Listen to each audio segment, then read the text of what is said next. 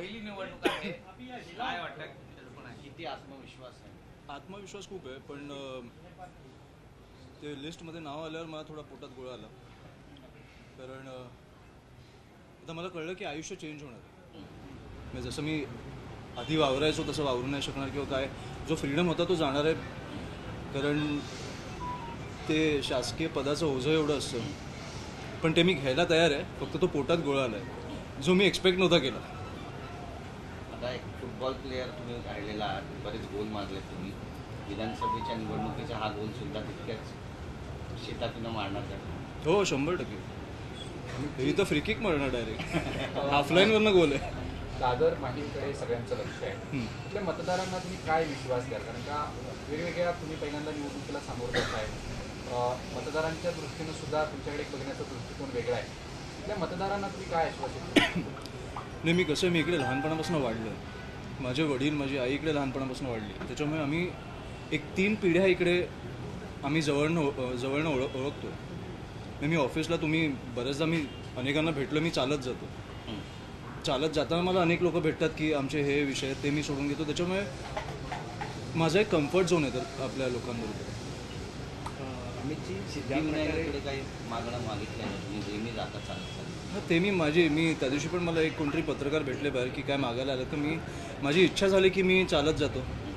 आणि पाया पडून येतो. पण माझी अशी मी मागत नाही काय पण खूप ऑलरेडी दिलं आहे देवाने राजकीय आव्हानं पण बरीचशी आहे. कारण इथे विद्यमान जे आमदार आहेत सदा सरवणकर त्यांना सुद्धा काल उमेदवारी जाहीर झाली आज संजय राऊत पण म्हणाले की इथे शिवसेनेचा जन्म झाला आहे त्यामुळे इथून उमेदवार आम्ही देणार नाही असं होऊ शकत नाही. त्यामुळे ही दोन्ही आव्हानं कशा पद्धतीने नाही शुभेच्छा दोघांनी. दुसरं म्हणजे आपण ज्या पद्धतीनं महायुतीकडनं असं समजा जरी की तुम्हाला पाठिंबा दिला जाऊ शकतो. लोकसभेला तुमच्याकडनं बिनशर्त पाठिंबा देण्यात आला होता. कुठेतरी महायुतीला या सगळ्याचा विसर पडला असं म्हणायचं? कसं मी नेहमी सांगतो की राजसाहेब एक भूमिका घेतात ते ती ठामपणे घेतात. आणि ती उपकाराची भूमिका नसते. की मी उपकार केले त्यांची ती भूमिका असते. आणि त्यांची कधी इच्छा नसते की समोरच्यांनी परतफेड करावी कारण साहेब मला नेहमी बोलत आले की हे राजकारण आहे. समोरचे लोक कसे आहेत हे आपल्याला ओळखायला पाहिजे. त्याच्यामुळे लोकसभेला त्यांनी मोदींना पाठिंबा दिला. त्याच्यामुळे त्यांचे जवळचे मित्र असतील राणेसाहेब असतील किंवा मोहनसाहेब असतील त्यांच्यासाठी त्यांनी प्रचार केला किंवा सभा दिली. पण त्यांनी परत फेड करावी ही आमची आमची सवय नाही आणि इच्छा पण नाही. म्हणजे तुमचं राजकारण तुम्ही करावं आम्ही आमचं राजकारण करतो अमितजी ज्या प्रकारे वरळीमध्ये आदित्य ठाकरे उभे होते त्यावेळेला मनसेकडून ते पाठिंबा होता तिकडे उमेदवार नव्हता. आता युवा नेतृत्व नवीन ठाकरे कुटुंबाचे तुम्ही सुद्धा आता माईंमध्ये काय वाटतंय तुमचं मत की तुम्हाला सुद्धा असं समोर नाही माझं मत काही नाही समोर कोणी उभं राहू दे. शेवटी लढाई आहे. मी एकटा उभं राहून लढून काय फायदा आहे? आणि ह्याच्याने तुम्हालाच कळलं असेल की जेव्हा साहेब बोलतात की स्वबळावर म्हणजे स्वबळावर.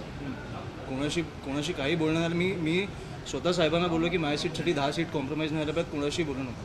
कुठेतरी वरळी कुठेतरी वरळीमध्ये कुठेतरी वरळीमध्ये कौटुंबिक पाठिंबा पाहायला मिळाला होता. तर माईमध्ये सुद्धा असा पण ती आता ते साहेबांचे संस्कार आहेत ती साहेबांची शिकवण मी समोरच्यांकडनं ती एक्सपेक्ट मी नाही करू शकत.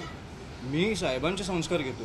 त्याच्यामुळे मी तसा पुढे जातो तर मी त्यांच्याकडनं काय मला माहीत नाही. मे बी नाही पण येणार आपण अजून लिस्ट बघितली नाही आहे पण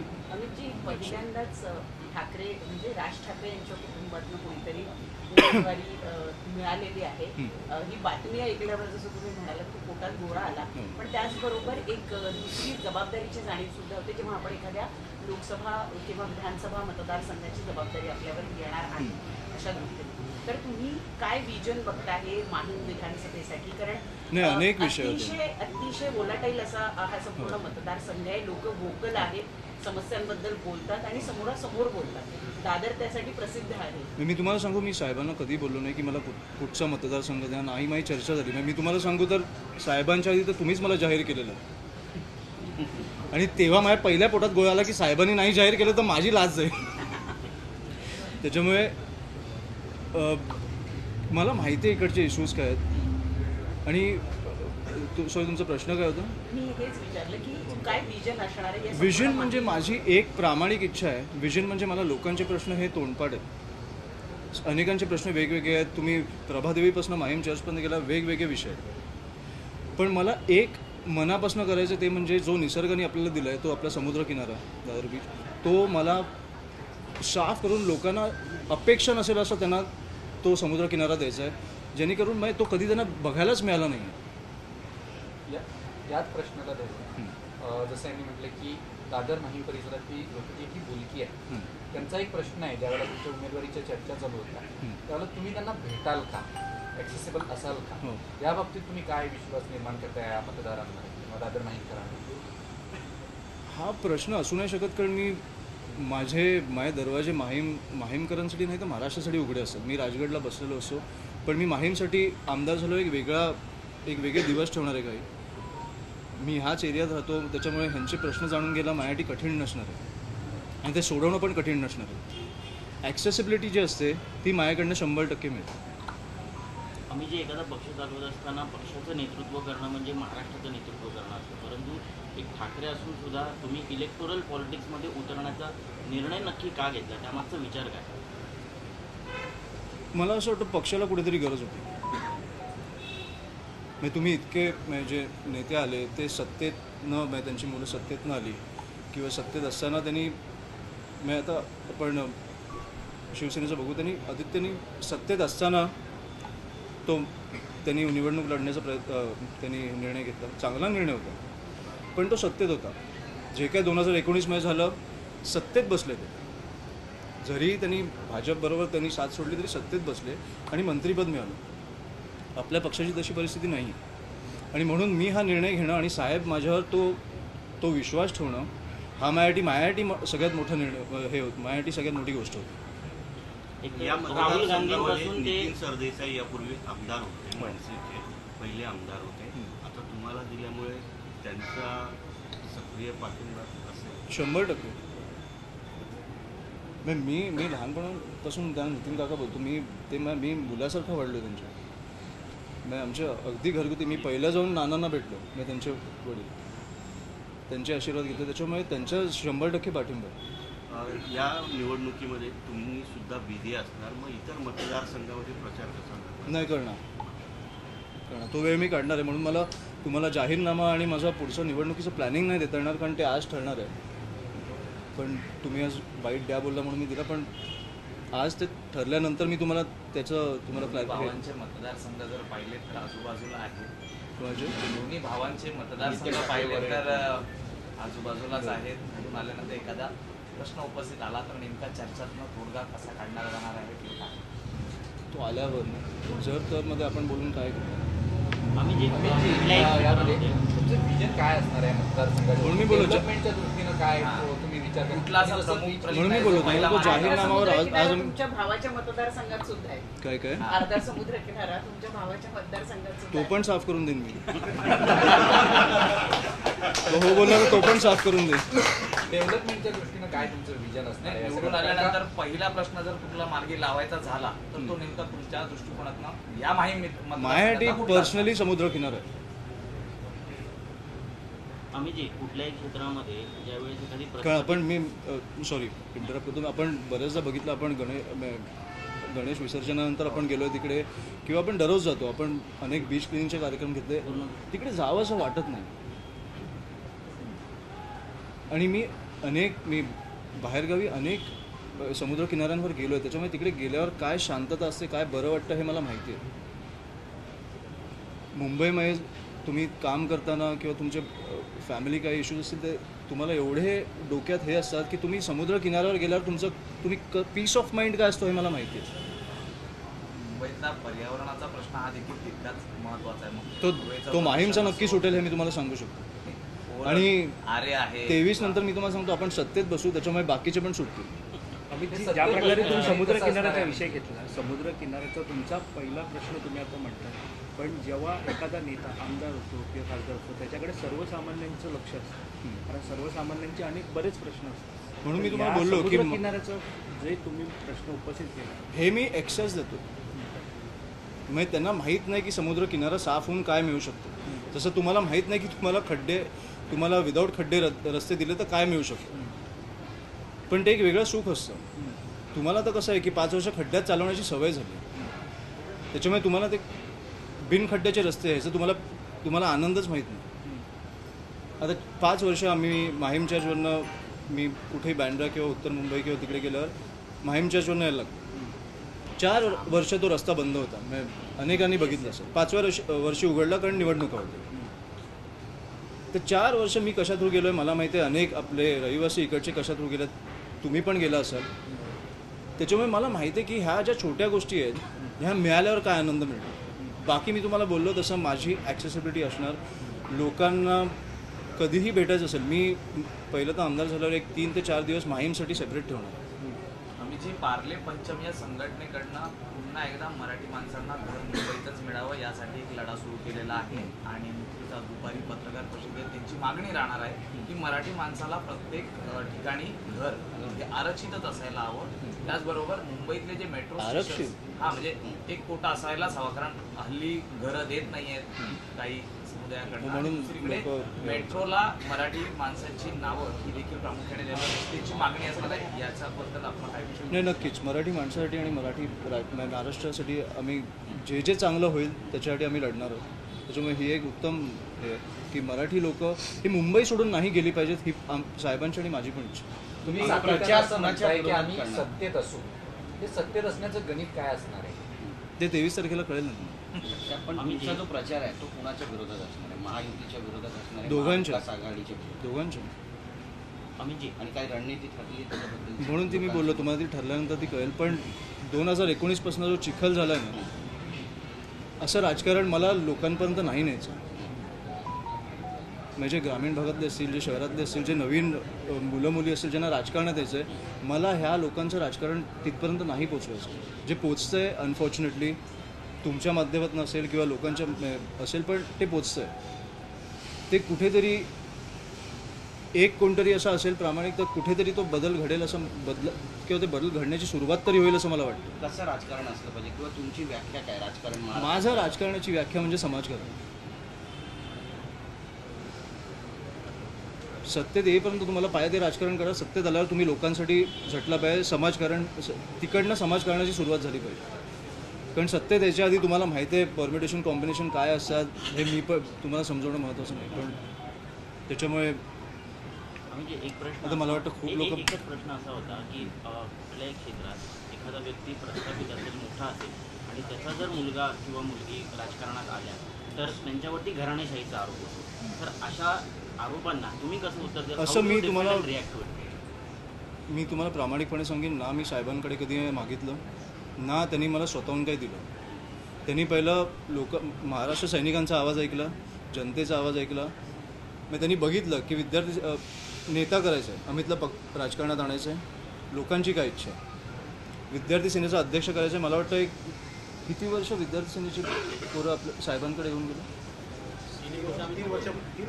नाही नाही पण किती वर्ष येत होते? मी नेता झाल्यापासून.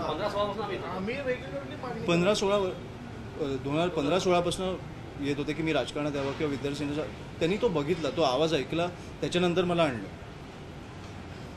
आता म्हणून मी बोलतो मी सगळ्यात आधी आभार पत्रकारांचे मानीन कारण तुमच्यामुळे साहेबांनी तो कौल ऐकला की लोकांची इच्छा आहे मी व्हावं. म्हणून मला दिलं.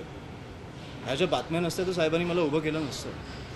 आणि त्याच्यामुळे मला वाटतं घराणीशाही असावी तर अशी की लोकांनी स्वीकारलं पाहिजे आणि मग नेत्यांनी स्वीकारलं पाहिजे. तुम्हाला कन्व्हिन्स करावं लागलं नाही.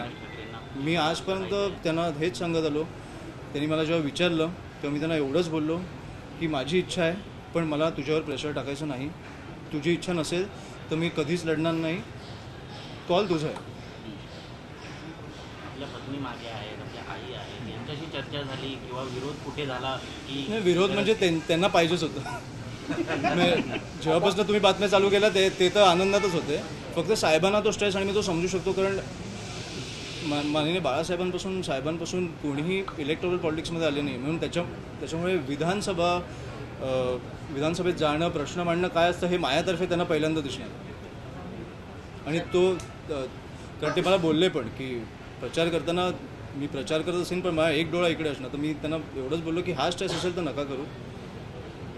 मी इकडे प्रामाणिकपणे प्रचार करेन आणि शंभर टक्के आपली सीट येईल. नेक्स्ट जेन जी आहे ती सक्रिय राजकारणात आणि इलेक्ट्रॉनिक पॉलिटिक्समध्ये उतरते. कुठेतरी एक ट्रेडिशनल माइंडसेट होता की फक्त पक्ष चालवायचा तो तुम्ही बदलताय. तर ही काळाची गरज इनिव्हिटेबल वाटतं की काळाची गरज आहे आणि कसं मी तुम्हाला सांगू की शेवटी तो रिमोट कंट्रोलचा जमाना जो आहे तो राजसाहेबांबरोबर मला वाटतो राजसाहेब हे शेवटचे रिमोट रिमोट कंट्रोलचा जमाना. कारण मी माझी कंपॅरिझन पण नाही होऊ शकत त्याची आणि मी रिमोट कंट्रोल सगळं चालवू पण नाही शकत.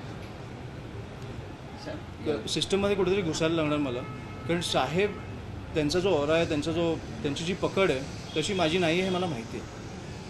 तुम्हाला वाटते उद्धव ठाकरे या मतदारसंघातून तुमच्या विरोधात उमेदवार देतील. कारण मागच्या वेळेला राज ठाकरेंनी ना मला. मी आता हे नाही सांगू शकणार हो. पण दिला तरी मला फरक नाही पडत. मी प्रामाणिकपणे काम करणार मी लोकांपर्यंत पोचणार माझी प्रचार उद्यापासून चालू होणार त्याच्यामुळे मला फरक नाही पडत. उमेदवारी देणं हा साहेबांचा कॉल होता.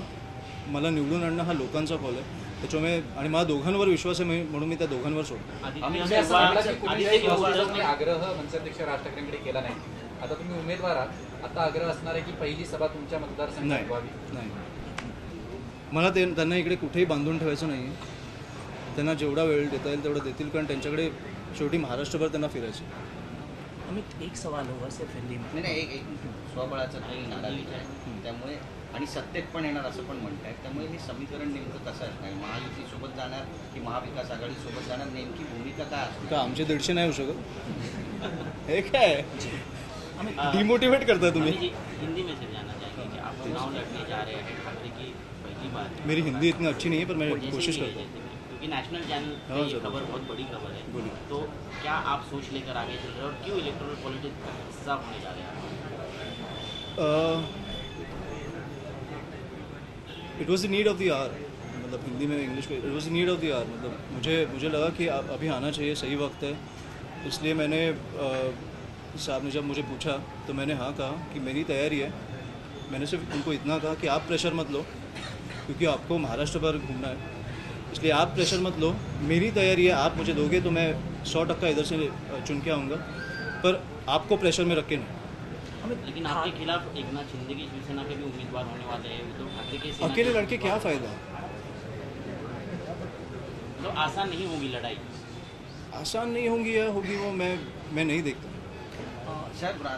कोई यहाँ पे अगर कोई कैंडिडेट ना भी देता तो भी मैं वही प्रचार करता और अब अभी आपने बोला शिंदे साहब ने दिया है और मुझे नहीं पता कि शिवसेना क्या करेगी।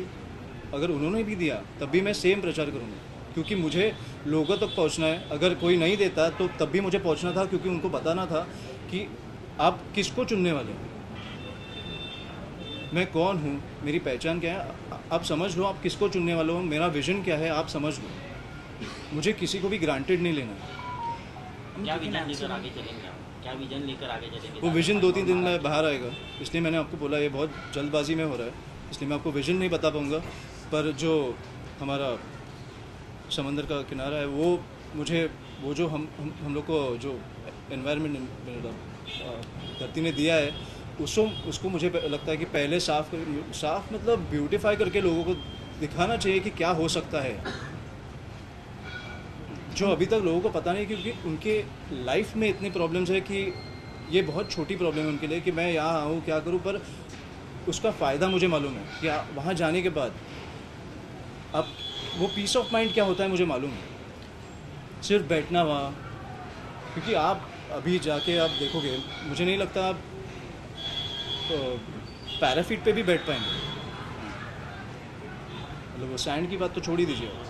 इसका जवाब आप इंग्लिश में भी दे सकते हैं। ठाकरे परिवार की सालों से ये भूमिका रही कि आपने नेता खड़े किए हैं। आपने आपका परिवार हमेशा से रहा है कि रिमोट की भूमिका आपने निभाई नहीं, है। नहीं। उसके बाद जिस तरह से मैं जैसे बोला कि मेरी कंपैरिजन आपकी जनरेशन जैसे हाँ मैंने बोला हाँ, वैसे मेरी comparison I can't be compare to my father firstly किसी is one of a kind his grandfather and माननीय बाबा साहेब मतलब श्रीकांत जी एंड माननीय बाबा साहेब वो is one of a kind none of us in today's politics can be compare to that's why I the I should enter the system and change it from the inside because again I thought I said it was the need of the hour Was reaction of the father of your family when you actually decided that you're going to uh, come into this electoral politics? I mean, he found out. I mean, from the news that was going outside, he found out from that, and uh, his So was first. shocked, surprised? No, he wasn't Was it- shocked. It was welcoming. Neither was I because uh, the way people reacted to this news was overwhelming for me जैसे आपने कहा कि हर constituency से मेरे लिए मुझे बुलाया गया कि आप इधर आके खड़े रहोगे। That was overwhelming for me मुझे पता चला कि मैं कहाँ तक पहुँचा हूँ and I think because of you guys my father understood कि मैं कहाँ तक पहुँचा हूँ तो आई थँक यू ऑल स्वबळावर सत्तेत बसणार की विरोधात बसायला आवडेल या सगळ्या याचा निर्णय साहेब घेतील पण सत्तेत बसणार. भरणार? उमेदवारी अर्ज- मला माहीत नाही उमेदवारी अर्ज- उमेदवारी अर्ज अजून मला माहीत नाही. सगळे आपापल्या तारखा काढतात तशी कुठली तारीख आहे? हा मग अजून ठरलं नाही. मला काल कळलं. अमितजी अमितजी नऊ आकडा तुमच्यासाठी सुद्धा लकी आहे कारण जी पहिली यादी जाहीर झाली ती नाही माझ्यासाठी सहा लकी हा अच्छा